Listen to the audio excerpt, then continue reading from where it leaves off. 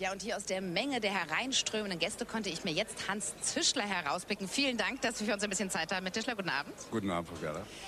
Sie gehen heute Abend in diese Metropolis-Weltpremiere eher skeptisch oder freudig erregt?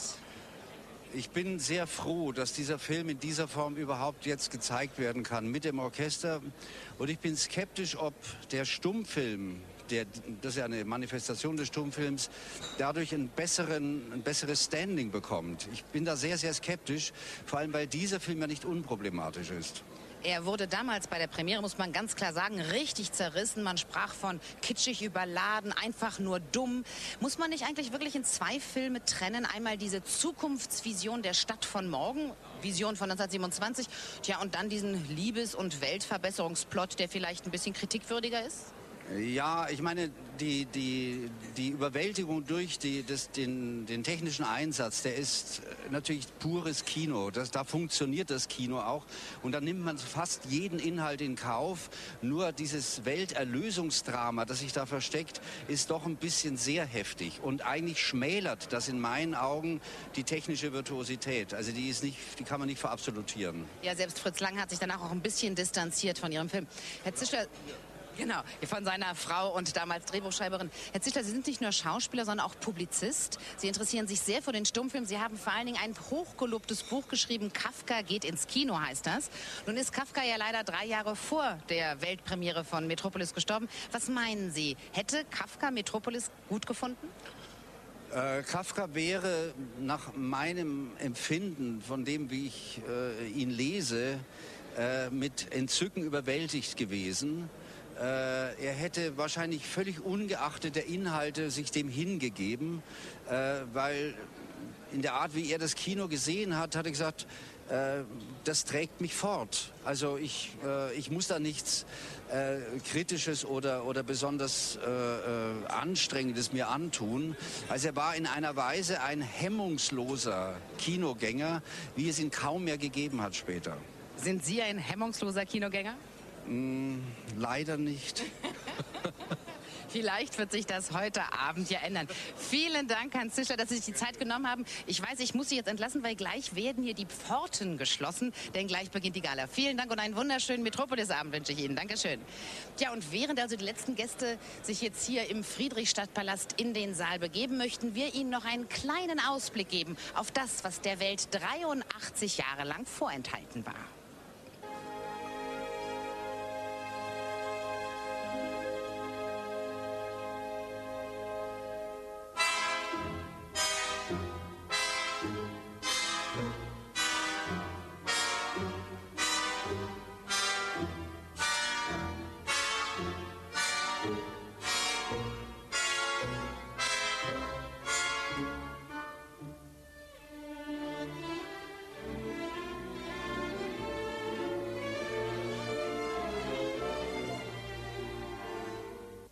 Ja, meine Damen und Herren, Sie sehen es, um mich herum ist es leer geworden. Alle Gäste sind jetzt hier im Friedrichstadtpalast, denn nun beginnt sie die feierliche Eröffnung der Welturaufführung von Metropolis. In jeder Beziehung ein Film der Superlativen. 36.000 Komparsen, 200.000 Kostüme, 5 Millionen Reichsmark hat er damals gekostet. Der teuerste deutsche Stummfilm aller Zeiten. Tja, und wem gebührt jetzt die Ehre der allerersten Rede heute Abend hier? Es ist natürlich Dieter Kost. Slick, der Leiter der Berlinale. Er wird jetzt die richtigen Worte finden, um ihn einzuleiten, diesen, man kann schon sagen, filmgeschichtlich einmaligen Abend. Bitte lauschen Sie Dieter Koslik.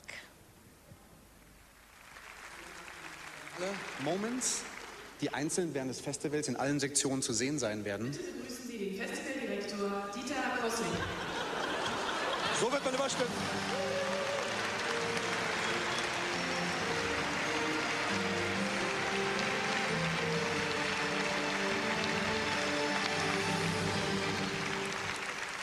Ja, meine Damen und Herren, guten Abend. Ich weiß gar nicht, was wir eigentlich ohne Friedrichstadtpalast die ganze Zeit gemacht haben. Großartig, dass das so äh, geklappt hat. Ich wusste auch nicht, dass Schiller, äh, Bach und Beethoven in Berlin geboren worden sind. Aber gut, ich meine, warum nicht? Ja. Ähm, sehr geehrter, ich habe heute ungefähr 40 Reden gehalten. Wenn es Ihnen nichts ausmacht, dass ich nicht alles durcheinander bringe, würde ich das gerne ablesen. Zum Beispiel den Satz. Sehr geehrter Herr Staatsminister, Na, der Humor ist noch nicht ganz so oben.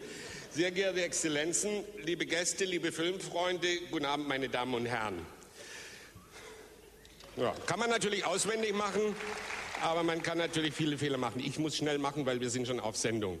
Ich freue mich ganz besonders, äh, Sie zu dieser außergewöhnlichen Vorführung und zu dieser Gala-Veranstaltung begrüßen zu können.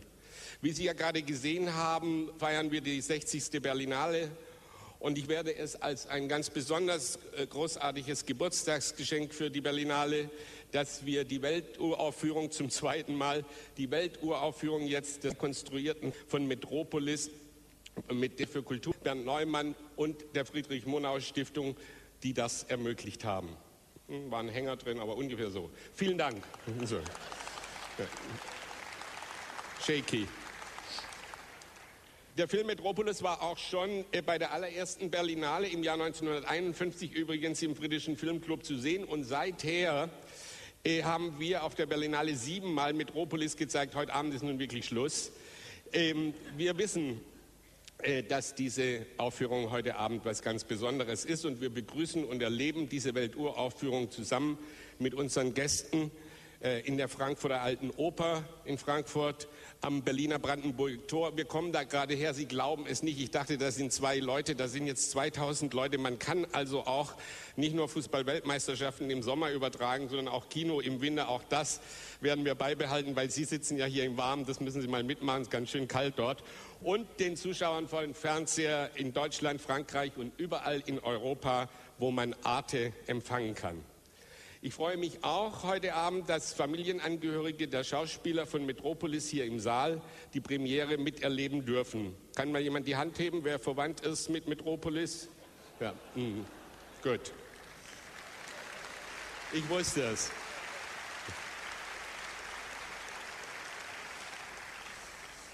Wir werden äh, bei dieser Metropolis-Aufführung nicht nur durch die musikalische Begleitung des Rundfunksinfonieorchesters Berlin etwas Außergewöhnliches hören. Meine Damen und Herren, ich will Ihnen nicht den Witz erzählen, warum Fritz Lang keine Kurzfilme machte, aber immerhin, jetzt steigt die Stimmung hier. Der Pegel ist am Kochen. Fast ein Kesselbundes. So. Ähm, wir werden heute Abend Sie und ich natürlich auch, werden Zeuge einer Weltsensation und Sie werden zum allerersten Mal Fritz Langs Stimme hören. Ich wünsche Ihnen einen spannenden und wunderschönen Abend. Vielen Dank und viel Spaß heute Abend. Dankeschön. Tschüss.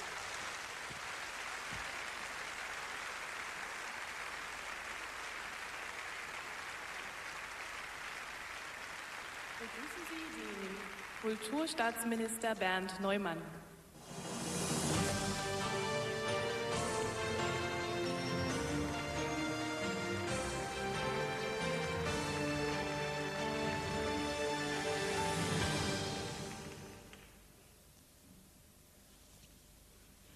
Exzellenzen, Frau Ministerin Schawan, liebe Kolleginnen und Kollegen aus dem Deutschen Bundestag, lieber Herr Koslik, lieber Herr Junkersdorf, freue mich besonders, dass die österreichische Kulturministerin Dr. Claudia Schmidt hier ist. Herzlich willkommen.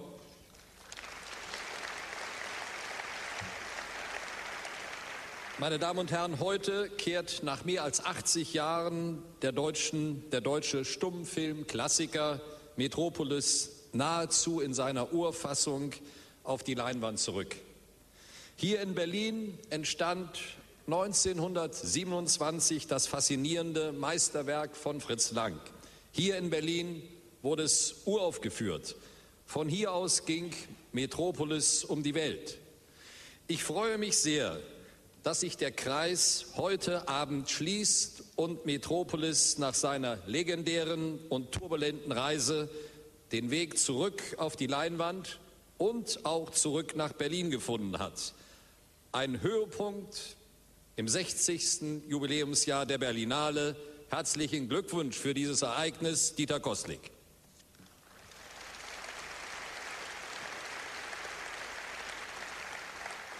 Metropolis ist Mythos, ist ein Juwel unseres kulturellen nationalen Erbes.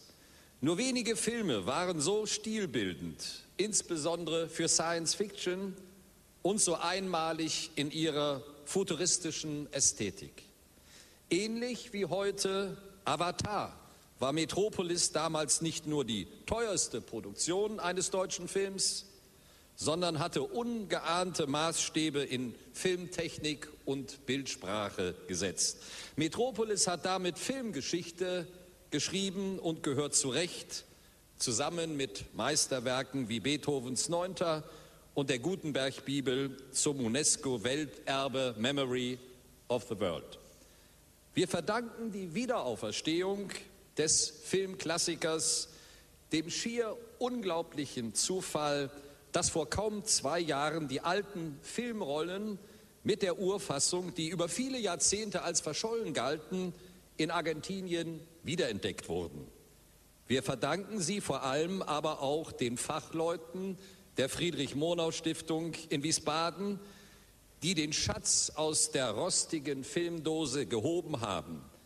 Gerne hat die Bundesregierung mit 200.000 Euro dazu beigetragen, dass die Mammutaufgabe der Restaurierung in Rekordzeit gemeistert werden konnte.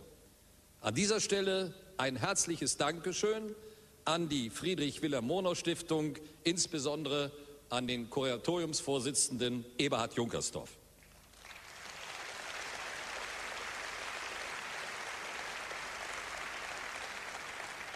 Meine Damen und Herren, ich grüße hier aus dem Friedrichstadtpalast in Berlin von diesem besonderen Ereignis alle Zuschauer an den Fernsehbildschirmen wie am Brandenburger Tor und in der Alten Oper in Frankfurt sehr herzlich.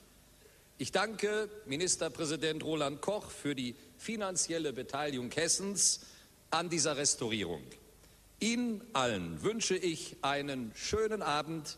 Freuen Sie sich auf eine besondere Entdeckungsreise in die Filmgeschichte. Vielen Dank.